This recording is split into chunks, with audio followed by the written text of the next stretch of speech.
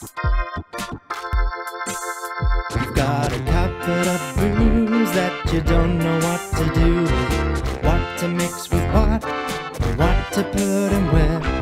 There's no need to fret because there's someone here to help you. He's not just a man, he's an idiot too. The cocktail idiot. Yes, it's the cocktail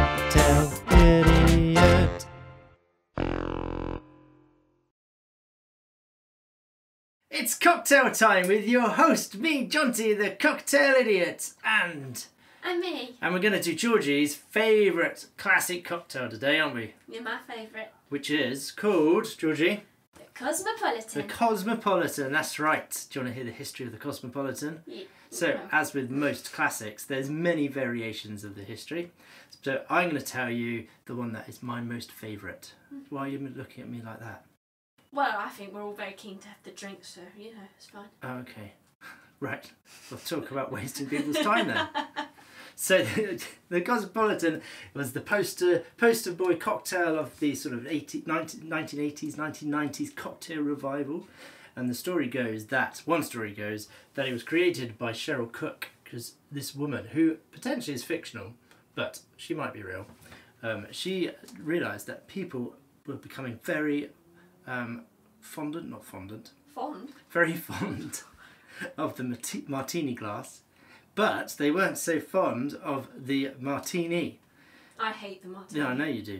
But they found that having the martini glass made them look very sophisticated at their sophisticated parties and made them look drink. posh and proper.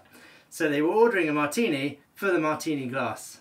So Miss Cheryl thought, I know, I'm going to put a drink in the martini glass that people actually like. Genius, she is. Absolute genius. And that was sort of the first creation of the Cosmopolitan. From there, so that had um, vodka, it had triple sec, it had uh, rose lime cordial, and it had um, the, uh, the, what's that called? Juice. Cranberry. Juice, which is basically a cosmopolitan.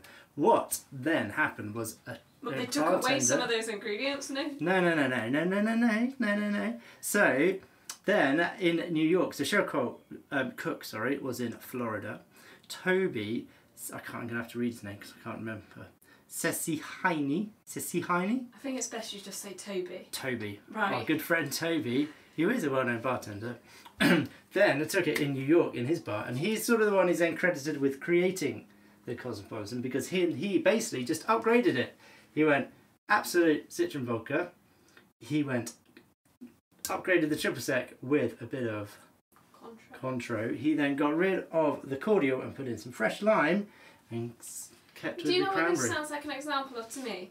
Whether this woman was fictional enough. She's not bloody fictional, she was a woman. So history has come along and go, you know what, we'll just overwrite this with a more sophisticated barman. No, because then what happened? So Toby garnished it with a uh, slice of lemon.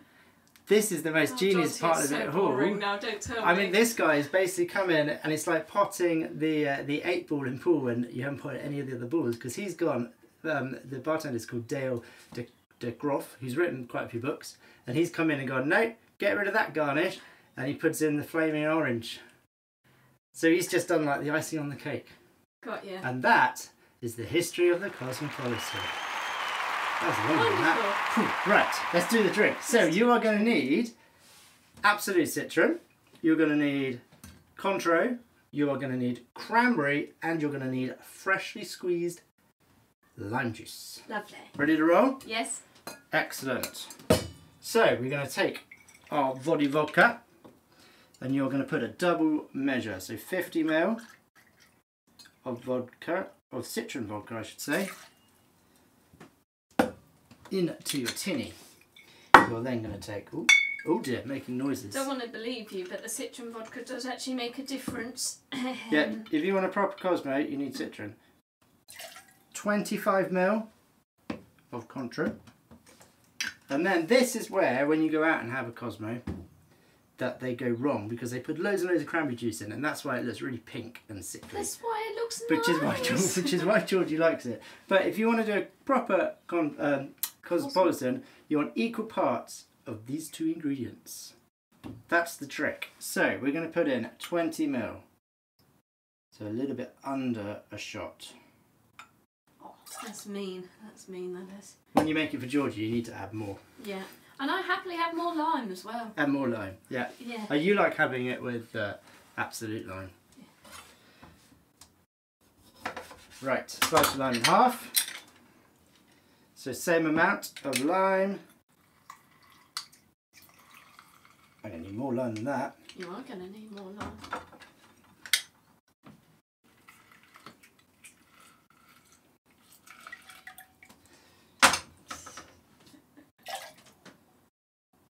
Boom. And that is all our ingredients. That's all you need. Nice and easy cocktail, this one. Take your ass, get your tinny tin, give it a whack, and smile and shake.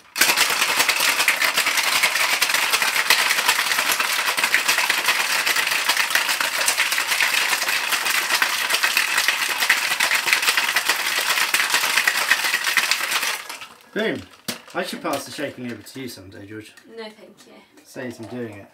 I'll just do the uh, the tasting part. Martini glass. It's not a martini glass. So. After like my long one. lecture, Nice using one. more of a coupe glass. But obviously, you can serve it in whatever you like. You can even serve it on the rocks if you really want to. But it's not how it's normally done. Double strain. To get the ice out. So you see, you should have quite a light. What colour is that? Well, kind of a heavy blush, I don't know. Uh, well, it, is pink, so that, that's the Yeah, pink. but it's not like a real It's not a, garish pink, is it? yeah, yeah, it's not hot pink. It's a pleasant pink. Okay. And then you're going to take an orange. And take the orange and hide it so we can't see. Hide it. Hide the orange. Take a bit of peel, and this is where it depends on the orange as to how much flare you get.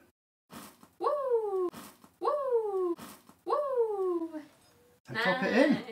And that's it. That is how you make a cosmopolitan Lovely. chin chin. Chin chin. Oh, Cosmo goodness. right, don't forget to like, subscribe, notify, bells, bell. whistles, ring a ding dings. Thank you very much for watching. Bye. See you next time.